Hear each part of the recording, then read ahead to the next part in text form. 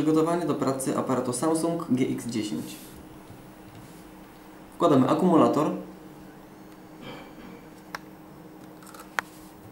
Jest to akumulator o symbolu SLB1674. Możemy tu również stosować akumulator o symbolu DLI50.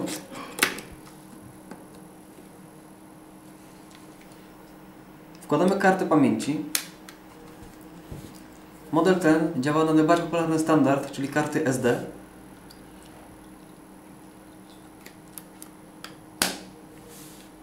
Oraz obiektyw. Wszystkie lustrzanki Samsunga współpracują zarówno z obiektywami Samsunga, jak i Pentaxa. Aby włożyć obiektyw, dopasowujemy czerwoną kropkę na obiektywie z czerwoną kropką na obudowie aparatu. Przekręcamy lekko w lewo, aż do usłyszenia zatrzasku.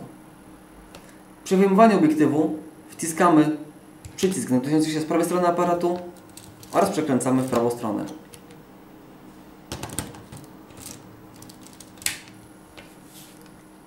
Tym momencie aparat jest gotowy do pracy. Ciekawym rozwiązaniem w zestawie z obiektywem kitowym jest to zbieralna osłona przysłoneczna. Pozwala ona na stosowanie filtrów polaryzacyjnych bez zdejmowania osłony.